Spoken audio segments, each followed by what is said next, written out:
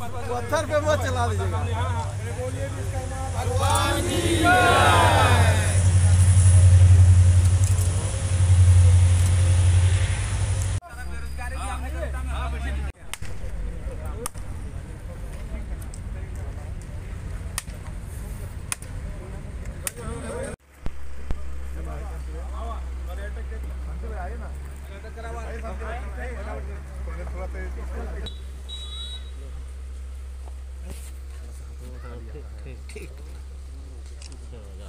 अरे